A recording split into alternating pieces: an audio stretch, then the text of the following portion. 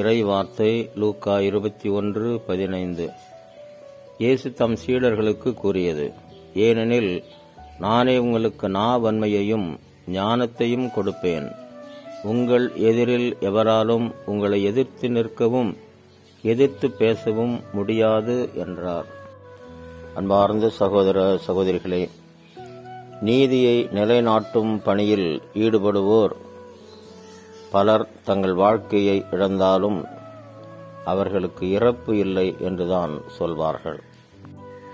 இயேசுவும் தன்னுடைய இரையாட்சி பயணத்தில் நீதியை நிலைநாட்ட சமத்துவத்தை நிலைநாட்ட அன்பை நிலைநாட்ட போராடினார்.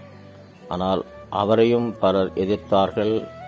அவருடைய வாழ்க்கையையும் முடித்துவிட்டார்கள். ஆனால் அவர் இறைமகனாக இருந்ததால் இறப்பு அவரை ஒன்றும் செய்ய முடியவில்லை. மீண்டும் உயிர்த்தார் தன்னுடைய லட்சிய பயணத்தில் அவருக்கு இருந்த ஆர்வம் தன்னுடைய சீடர்களுக்கும் தன்னை பின்பற்றுகின்ற ஒவ்வொருவருக்கும் இருக்க வேண்டும் என்பதுதான் இயேசு விரும்புகின்றார்.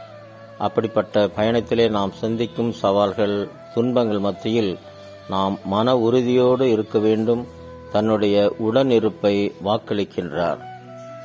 இன்றைய உலகில் நம்முடைய சாட்சிய வாழ்வுக்கு நமக்கு குறையாயிருப்பது இந்த மன உறுதி. இந்த மன உறுதியை நாம் பெற்றுக்கொள்ள இறைவனை வேண்டுவோம்.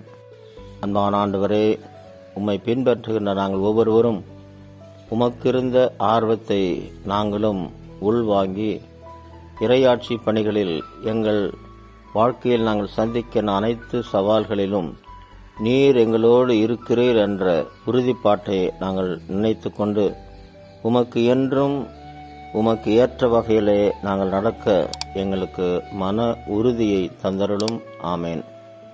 இன்றைய நாள் இனிய நாளாக அமைய உங்களை வாழ்த்துகிறேன் இறை ஆசிரியர்.